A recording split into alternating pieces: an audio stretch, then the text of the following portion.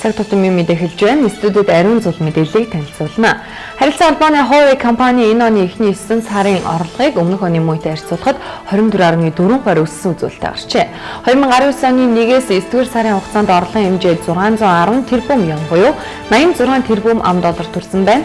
Дэлхийд дээрх өрн телефоны операторуудтай 5G технологийн 60% арилжааны гэрээ агуулж дэлхийн зах зээл 400 мянган гаруй 5G сүлжээний суурь станцыг нийлүүлсэн гэж Huawei компани мэдээлэлд өөрчилсөн байгаа юм а.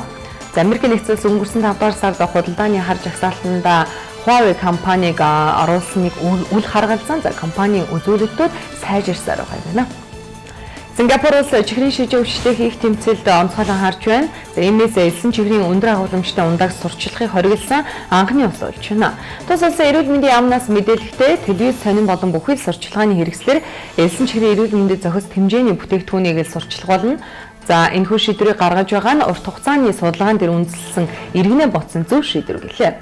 Шингэн зүйлс гэдэгт кофе, ундаа, жимсний шүүс, тарг гэх мэт бүх төрлийн шингэн бүтээгдэхүүн юм. Дэлхийн эрүүл мэндийн байгууллагын гаргасан судалгаагаар өдөрт нэгээс 2 лаз чихэрлэг ундаа хэрэгэлдэг хүн бага хэрэгэлдэг хүнтэй харьцуулах юм бол чихрийн шижингээр өгдөг магадлал 26 хувиар илүү байдаг гэнэ. Жилбэрийн намар Сүхбаатарын даргангасан манд хон шууд чуулж тэндээсээ дулаан орны зордог. Одоогоор ганг нуур нь 300 орчим хон цуглаад байгаа тухай за тухайн газрын байгаль орчны хяналтын улсын байцаагч мэдээллээ. Өнгөрсөн жил 1000 орчим хон шувуу дууд нууранд чуулж байсан бол энэ жил тэд ганг нууранд цуглаж байна. Энэ нь нуурын ус нэмэгдэж байгаатай холбоотой юм.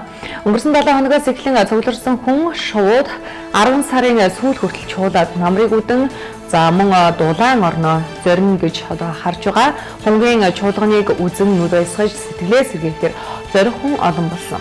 Өдгөөч хэдийн газар газрын хүмүүс даргангээ зориод хэлж за хунгийн шуудыг бол харж байгааг нь өдрөөс өдөрт хунгийн тоо нэмэгцээр байгаа тухайч за аймгийн тухайн газрын байгууллагчны газраас мэдээлж байгаа юм аа. Сахарын цүлд амьдрдаг мөнгөлөг биетэй шаргаалжин дэлхийн хамгийн хурдан шаргаалжны төрөл зүйл болохыг эрдэмтэд туршилтаар тогтоосон байна. Энэхүү амьтны нь цүлийн их халуун зогсож амьдрахын тулд 1 м замыг 1 секундэд туулж сурчээ. За харьцуулбал энэ гэрийн муур цагт 190 гаруй км хурдалж байгаатай адил юм. Хурлах тусмаа энэхүү шаргаалжны 6 хөл газраас тасарч агаарт хөвдгийг тогтоосон байна. Мөнгөлөг биед шаргаалж секундэд 85.5 см замдуулахдаа 47 алхам хийсэн байна. Энэ нь дэлхийн хамгийн хурдан хүнгээгддэг усайн бол болтын алхмын эмнэлээс 10 дахин өндөр гэсэн юм а. Энэхүү шавжийг хурдан болгож байгаа биомеханикийн нууцыг тайлбал жижиг хэмжээтэй маш хурдан робот бүтээж болно гэж эрдэмтэд дүгнжээ. Цаг тутмын мэдээ танилцууллаа. Анхаарлаа дуусгаж та бүхэнд баярлалаа.